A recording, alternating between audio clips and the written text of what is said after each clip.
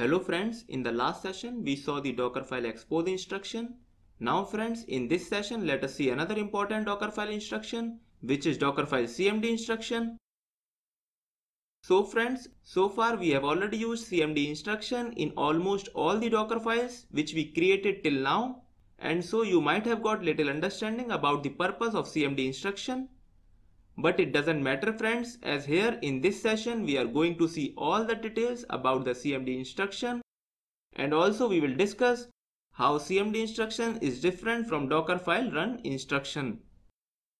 So friends CMD instruction is one of the way of executing the commands at the container launch time.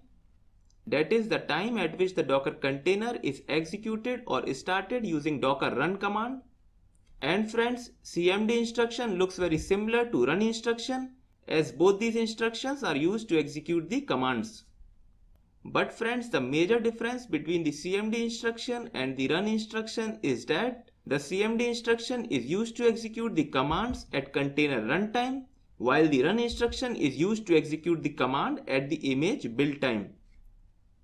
And friends, the main usage of run instruction is to install the application and software packages inside the Docker image, while the CMD instruction is mainly used to start the already installed softwares or applications with the help of commands passed to it at container runtime. So for example friends, installing Nginx server in the Docker image is done as a part of run instruction, while running the installed Nginx server is done via CMD instruction. Now friends, it is also important to know that passing the command to CMD instruction for their execution at container runtime is equivalent of passing the commands at the end of docker run command.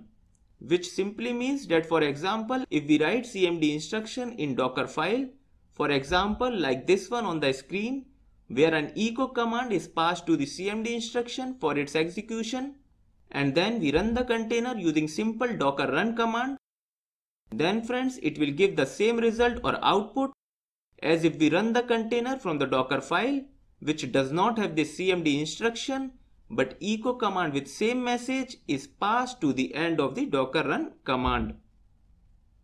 So now let us see the same friends with the help of one example. So let us take a very simple docker file to demonstrate this.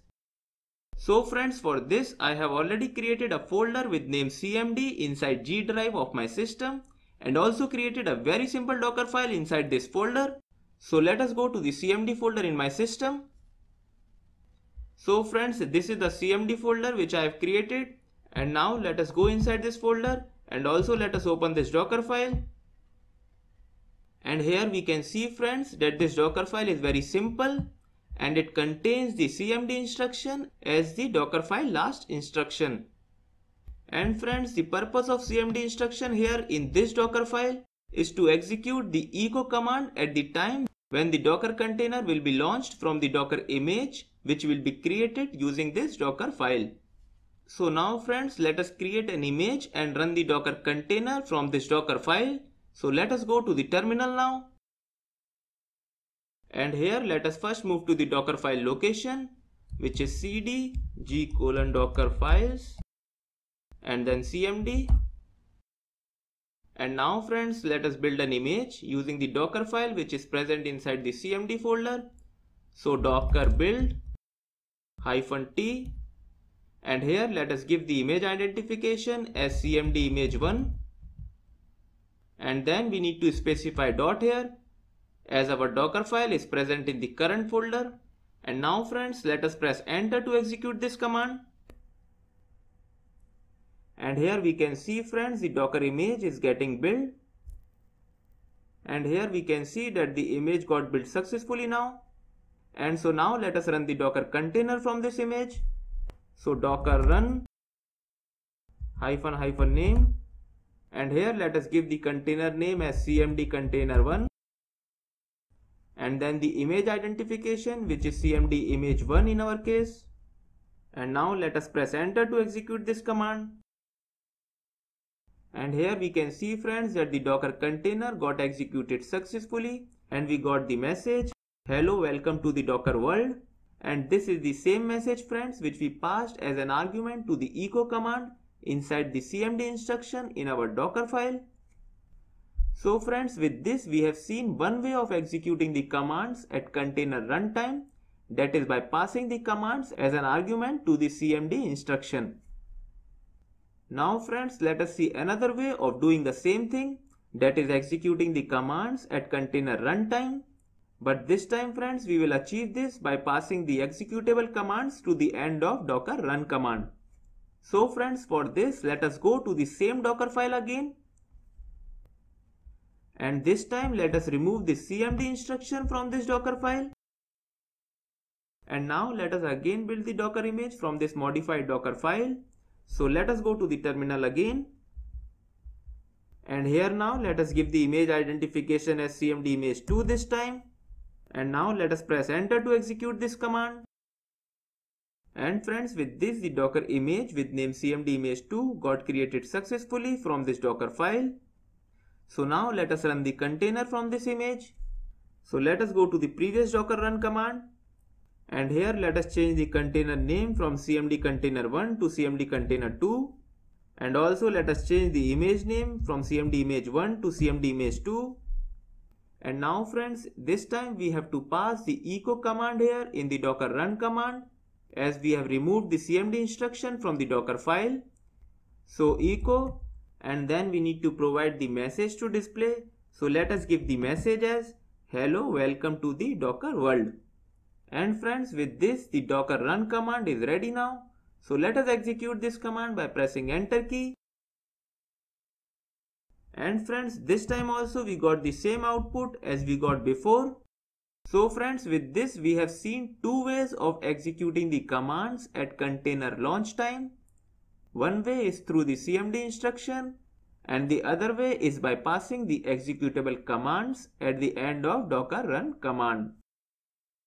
Now friends, one important thing to know about the cmd instruction is that executable commands specified in docker run command overrides the cmd instruction in docker file and friends this means that if the command to be executed is specified at both places that is if it is specified in the cmd instruction and also specified in the docker run command then the one which is specified in the docker run command is given the priority for execution so let us see the same friends with the help of demo.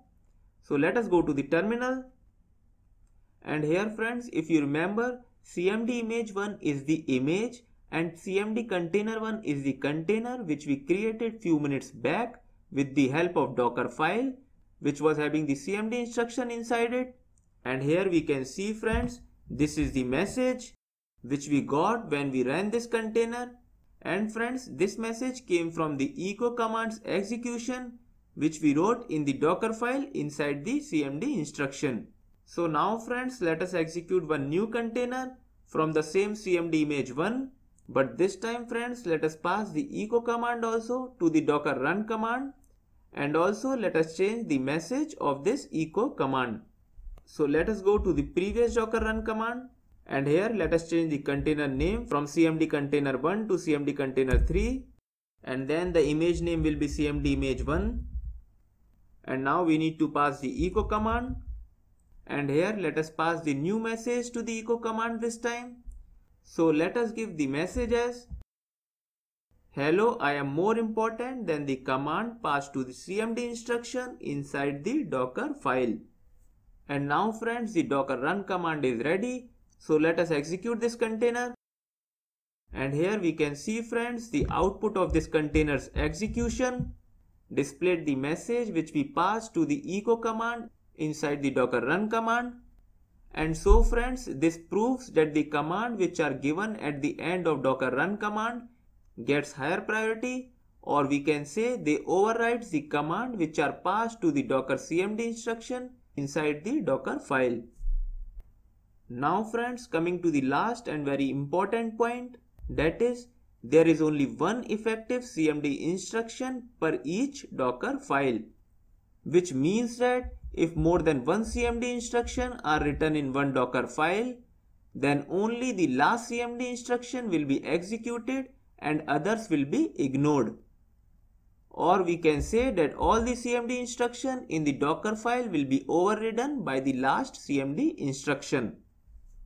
So friends with this we have seen the usage of dockerfile cmd instruction in this session and also we saw how cmd instruction is different from run instruction and then we saw the two ways of executing the commands at container startup.